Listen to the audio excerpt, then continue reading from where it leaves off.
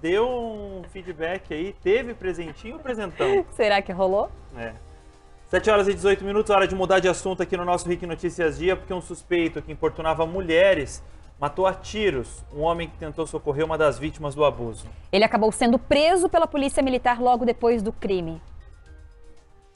O argumento que o suspeito usava para se aproximar das mulheres era sempre o mesmo. Eu vi que ele estava vindo na minha direção correndo, falando assim: "Ah, você viu pisca-pisca, pisca-pisca". Daí eu já me desesperei que ele já começou a vir na minha direção. Logo depois de abordar a jovem, o morador de rua teria cometido um crime em plena luz do dia.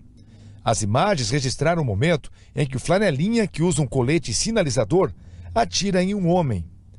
Foram dois disparos. Um deles acertou em cheio a vítima de 43 anos, que morreu no local.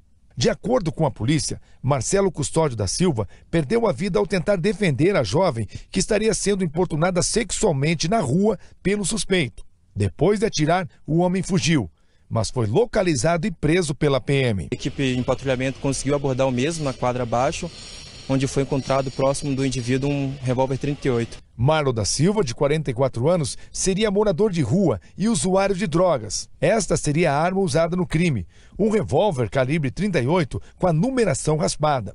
Duas munições foram deflagradas e outras quatro estavam intactas. O colete que Marlon usava para trabalhar como flanelinha e uma corrente de pescoço também foram apreendidos. A polícia ainda não conseguiu descobrir a origem da arma que Marlon portava na cintura. Mas, de acordo com informações das primeiras investigações, ele teria ido até um posto de saúde do bairro Parque da Fonte e lá teria mostrado a arma funcionária. Disse que ia matar uma pessoa. Na sequência, ele ofereceu a arma para ela para não cometer o crime. Como ela não pôde pegar esse revólver, ele seguiu pelo caminho, ali na região. Escondeu o revólver, passou a mexer com algumas mulheres. Na sequência, uma delas chamou a polícia. Quando os PMs chegaram, revistaram o rapaz. Como não encontraram nada com ele, foi liberado.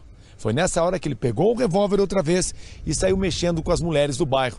Logo em seguida, ele cometeu o crime. A última pessoa que foi abordada por Marlo aceitou conversar com a nossa equipe sem mostrar o rosto. Ao perceber o perigo, pediu ajuda a dois homens que estavam próximos. Um deles era Marcelo, que foi morto na sequência pelo suspeito. Tinha uns três senhor do outro lado da rua, um saindo do carro. Eu perguntei: eu posso ficar aqui? Porque esse homem está me perseguindo, vindo para cima de mim.